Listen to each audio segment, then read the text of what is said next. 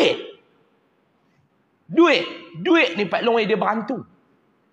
Yang kata duit ni, orang tua-tua duduk pesan, dia berantu. Sebab apa orang tua-tua kata duit ni berantu? Dia musik kita. Duit ni dia jenis musik tak musik? Betul tak duit ni musik? Betul tak? Ha? Kalau tak ada langsung pun penin, banyak sangat pun penin. Dia musik. Tak ada langsung duit. Penin tak balong? Penin, nak beli rokok pun tak ada. Nak beli rokok dia pun harap kawan. Ada, ni kok baganyok ni tiga orang. Ha? Unit risikan saya abang ni. Ha, perangai lagu ni ni. Duk tutup rokok kawan ni ada tiga orang. Tapi dia tak nak main kuliah dia ni. Ni mana isap rokok pun tu. Duk balas hak kawan. Main-main isap dia tak ambil sikit nak rokok. Main belah kawan ni. Sampai lepas panggil eh tutup. Duk tutup rokok orang lah. Ada nama. Lepas panggil eh tutup. Tutup apa? Duk tutup orang lah ni. Rokok balas hak kawan. Temakau balas hak kawan. Later ni penuh bukit. Tambah geng isap rokok daun ni. Wak keluar satu later. Wak balik empat kan. Jenuh Pak Long. Nak langkah masuk syurga tu tak lepas kerana later kan. Tengoklah. Kawan ni kata, Ya Allah, dia ni duk kerja balas later kami lah. Geng-geng isap rokok daun ni. Rokok skrit tak apa. Hak jenis rokok daun ni. Dia mati kerak. Dia kena cucuk kerak ni. Boleh kat dia. Tak ada duit pun dia susah hati. Duit banyak pun pening. Cuba tanya orang kaya. Tenang tak hidup? Tak tenang. Mai ujung tahun. Masuk bulan 3, bulan 4. Nak kena declare dekat SDN. Tentang ingat orang duit banyak ni tenang ke Abang Ha? Cuba tengok orang kaya. Semua jenis botak tengah. Hak jenis botak tengah ni dua ya. Tak kaya bini ramai. Dua tu ya. Hak jenis botak tengah ni. Tak duit banyak bini ramai. Dua tu ya. Aja ni lagu susah, lagu kita rambut penuh. Bukan dia nak fikir apa sangat. Aja ni botak tengah, tak duit banyak bini ramai. Dua tu eh. Orang kaya, jantung. Sagi-sagi AJN, sagi-sagi AJN, eh duit banyak. Lagu Pak Long ada apa? Ha, lagu Pak Long orang kampung ni, ada apa? Paling kuat pun kronik mengenci mana? Ha, tu lah paling kuat pun. Dah kerja tak ada apa, duk kerja minum kat kedai kopi ya. Orang tak kena kenci mana? Duit banyak pun masalah, Long. Duit tak ada pun masalah. Ni kata duit ni dia berantu. Dia musik kita. Ada orang duit jutaan dalam dalam bank. Tuan-tuan ingat ke tak ingat dah dekat saya tak ingat dah. Ada dulu ni viral. Tak Malaysia Indonesia. Cerita ni. Polis tangkap satu orang kaya mencuri di kedai runcit. Bukan dia curi apa? Curi coklat. Curi aiskrim. Duit banyak apa? Duit banyak tapi mencuri. Polis tangkap. Dia ni, saya kata lagu ni lah senang nak faham. Jutawan. Duit duit ni berjuta dalam bank ni. Duit ni berjuta dalam bank. Rumah berjuta. Raita ratus ribu. Pi mencuri. Lima ringgit. Lapan ringgit. Ada dia mencuri kat kedai ringgit no. Polis tangkap. Bila polis tangkap buat siasatan, polis tanya dia apa siapa dia mencuri. Sedangkan hang ni duit ada. Apa siapa mencuri? Jawab dia mudah ya. Tabiat. Curi ni hobi.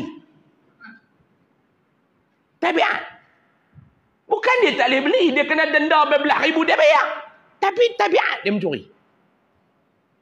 Tu nak abang kata Pak Long, orang duit banyak ni belum tentu menjanjikan kebahagiaan. Tak ada duit. Belum tentu kata dia ni derita. Ada orang dia memilih jalan susah untuk dia hidup lebih bahagia. Daripada dia memilih jalan kaya. Daripada tidak tenang. Pak Long mau ke Pak Long duit banyak tapi tak tenang? Mau ke? Rumah besar hidup tak tenang. Duit banyak hidup tak tenang. Mau Pak Long? Tak mau.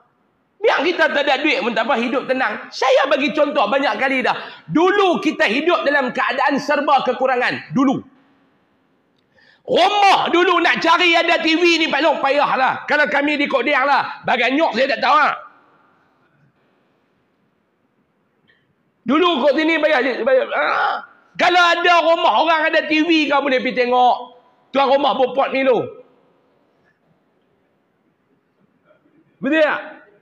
Ha. Saya hidup tahun 90-an. Zaman dulu kalau nak tengok program agama di TV, from mana? Masa tu ayah saya duduk masuk. Allah. Orang kampung mai duduk tengok. Masa tu rumah kami ada TV. Malam Jumaat dia mai. Yang ni bawa bihun, yang ni bawa mi. Dengar ceramah agama dalam TV. Tak lena. Pasal masa tu santau korang. Santau kuliah ni.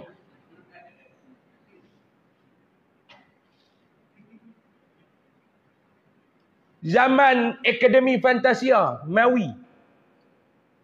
Orang tua-tua kampung maklum-maklum dululah. TV ada, Astro lah dah tak ada. Lo nak cari rumah yang ada Astro payah. Dulu ni, oi, Astro. Lepas tu penuh. Ha, lepas tu dia main zaman duit ada hari. Semua rumah orang ada Astro. Lah hilang dah ada Astro. Dulu ni Astro. Oi, nak tengok Maui World. Mai duduk penuh. Pak Long, bahagia tak zaman tu, Long? Bahagia, no? Bahagia oh, zaman tu. Bukan senang pun zaman tu kita susah. Tapi bahagia tak? Bahagia. Lah senang. Lah cuba cari rumah orang yang tak ada TV. Payah. Oh. Tapi TV orang tak tengok. TV ada. Orang tak tengok. Tambah buletin tiga. Buletin apa nama TV tiga. Buletin utama tu. Dulu kita nak dengar berita apa. Dengar itu lah. Lah tak tengok dah. Sebab apa tak tengok? Hak lepas habak tu kita tahu dah. Ni, datang ni. Keleh, keleh, keleh, keleh, keleh.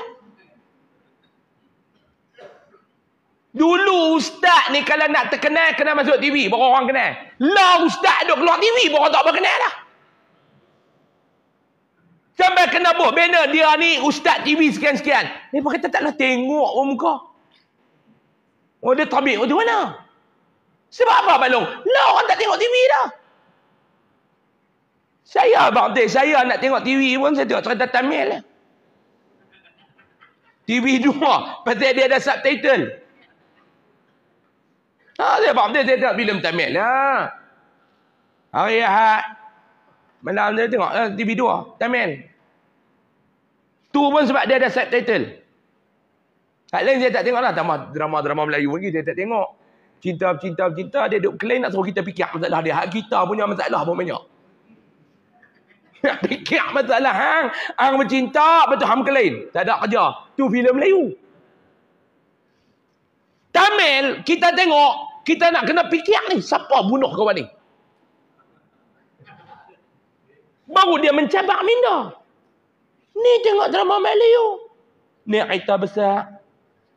Mohong awek kata dia ni orang susah. Awek dia rasa kecewa. Pada bapak hang eh. Tak tahu tengok tak tahu ni.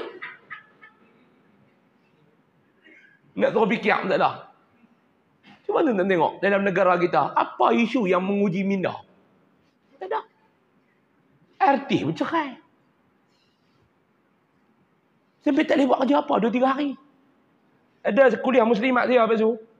Tangguh. Kerana pengurusi kuliah muslimat tu duduk sedih lagi. Fatah Hamim cerai dengan Fadura. Lah.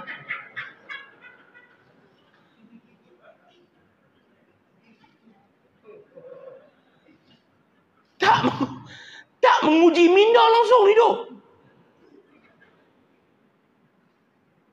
Maklum kan hebat maklum lah. Duk fikir pula siapa yang bersalah nak patah amin ke Fadura. Laki handsome bini lawa. Itu maklum lawa pun belum tentu kebahagiaan maklum. Suami handsome pun belum tentu kebahagiaan. Boleh tak Pak Long ni pun jadilah. Sekali tengok Doraemon, sekali tengok apa King Kong. Boleh lah maklum. Janji bahagia. Sekian dimaklumkan. Tak habis pula tajuk orang Melayu ni.